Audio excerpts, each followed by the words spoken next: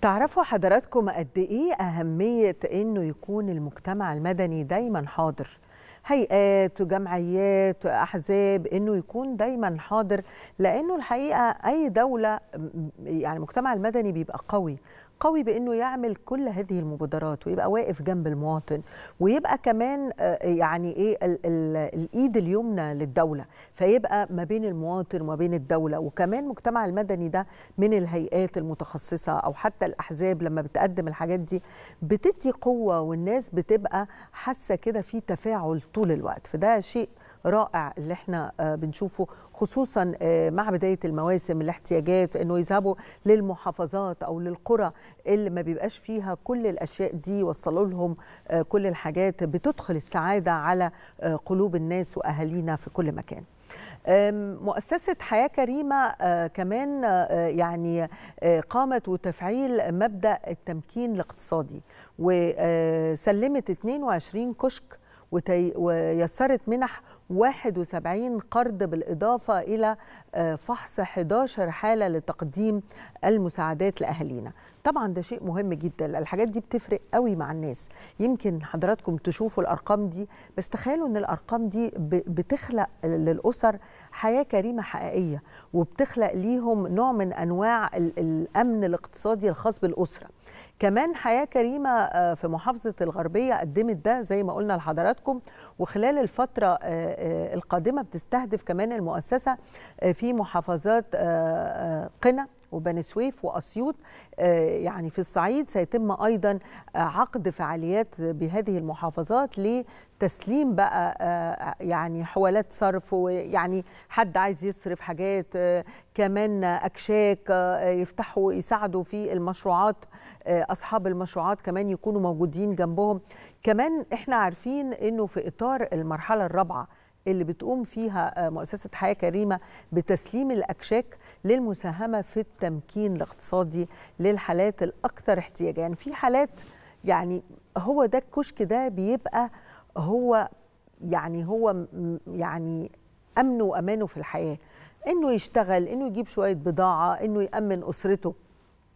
فده اللي بتبص ليه الحقيقة حياة كريمة ورصدها لهذه الحالات أعتقد ده بيساعد الناس كمان بشكل كبير. كمان بيساعدوا الأكثر احتياجا كمان في تواصل مع المؤسسة طول الوقت في بحث الحالات. يعني مش بس هي بتستكفي إنها بتساعد الناس لكن في طول الوقت بحث لهذه الحالات علشان تقدر تقدم كل أنواع الدعم المختلفة ليهم. تعالوا نروح لما تقدمه حياة كريمة في هذا التقرير نتابع هذا التقرير. تفضلوا.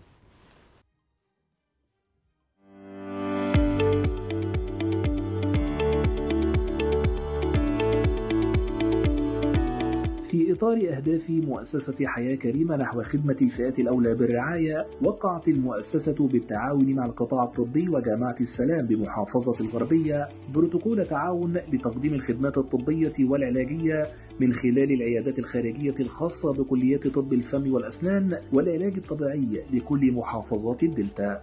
بروتوكول في حوال الأساسي القطاع الطبي. إن يتم التعاون ما بين المؤسسة وما بين الجامعة في الأنشطة الطبية زي القوافل والعيادات وعيادات الأسنان وتقديم الخدمة الطبية للفئات الأكثر احتياجا في منطقة الدلتا. متوفر في الجامعة عيادات خارجية في تخصص طب الأسنان وإن شاء الله برضه مستشفى لجراحه الفكين وطب الأسنان متوفر أيضا عيادات خارجية للعلاج الطبيعي دي إن شاء الله هتبقى مسخرة لخدمة أهالينا في القرى المحيطة والمحافظات المحيطة بموقع الجامعة إن شاء الله. وقد شمل البروتوكول الخدمات التي تقدمها كلية الفم والأسنان ومنها وحدات عيادة الطوارئ والتشخيص عيادة جراحة الفم والتخدير وغيرها. بالإضافة إلى الخدمات التي تقدمها كلية العلاج الطبيعي والتي تتضمن الكشف والتقييم وتقديم الخدمات العلاجية وتشمل الأشعة تحت الحمراء فوق البنفسجية وغيرها. المؤسسة بتعمل بشكل دائم على تنفيذ سبل تعاون وعقد بروتوكولات تعاون في شتى المجالات عموما مش بتوع طب بس مع الجهات والمؤسسات المعنية لتقديم وتسهيل الخدمات دايما على المواطنين المواطنين محافظات قرى كده. في جامعة السلام نهجنا نهج إن إحنا نتعاون مع المجتمع اللي عايشين فيه وكان أحسن طريق نختاره هو طريق آه، حياة كريمة. إحنا عندنا حالات مرضية دايما بيتم رصدها ميداني فإحنا إن شاء الله هنكون قادرين إن إحنا نحول الحالات دي علشان يتلقوا الخدمة بتاعتهم. كما سيتم تنظيم الندوات والمؤتمرات والبرامج التوعوية اجتماعيا وثقافيا وطبيا بهدف تثقيف المواطنين ورفع الوعي لديهم وتنظيم القوافل الطبية. وسيتم إنشاء العديد من البرامج التدريبية بمختلف كليات الجامعة والهادفة إلى تطوير قدرات الشباب لتأهيلهم لسوق العمل. يعني آه، شيء جميل نتمنى الخير دايما ونشوف كل هذه ال- المبادرات الحلوة اللي بتساعد أهالينا في كل مكان.